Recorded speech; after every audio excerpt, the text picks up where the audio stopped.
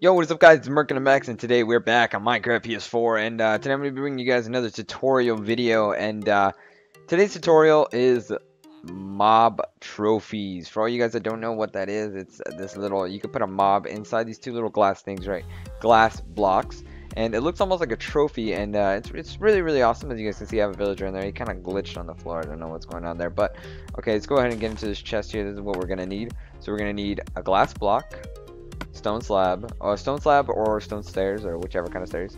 Uh, you know, any type of eggs, any type of mob eggs, piston, and a redstone torch. Okay, so first off, in order to make this, you guys are gonna have to get. Well, we don't have to line it up, but we'll line it up just to make it look nice. So, oh, we're missing we're missing the glowstone. Come on, MerK. Come on, come on, come on. Let's move that over here, make that look more professional.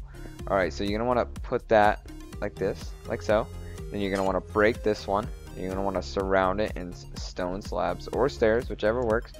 You're going to want to put this up with glass, like so. Go to the side, one. Go up, two. Go to the side, one. You're going to want to put a piston right there. Oh, facing down, like that, like so. Break all these other blocks on top. Then you're going to want to spawn whichever kind of spawn egg you want. Uh, specific, I like the skeleton just because of the bow. Let's go ahead and spawn him in there. I don't know if he's going to die. No, he won't. You put that. Oh yeah, he caught on fire. He caught on fire. Poor guy. He's probably gonna die. I'm sorry, buddy. I did not think you were gonna catch on fire, but you did, sadly. Come on, skeleton. I know you can survive. There you go. Alright, you just gotta push up against them so they register.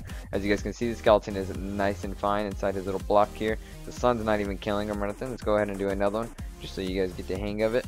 Alright, remember, two glowstone, then you're gonna break it, surround it with stone slabs, or stone stairs, two blocks of the, the glass, go up, go to the left one, and then go up two more, go to the right, put a piston, right, yeah, and then you're going to break the other ones on top, so you have the little block right here to put your torch, you're going to spawn, we'll put a uh, creeper this time, and we'll put the torch in, boom, and you, you just want to push up against it just so he registers. There you go. If you don't put these things, uh, these slabs or stone stairs here, they can actually just walk out of the glass. It's it's pretty crazy. Like they'll just walk right out. Like, ooh, what's going on? But I hope you guys enjoyed this video. If you guys did, please sure to smack the like button. If You guys controller, mouse, or keyboard for some more of these glitches or tutorials in generals. In generals, what the heck? In general, general, general, general, general. That's about it for today, guys. As always, live slow, dream fast. See ya.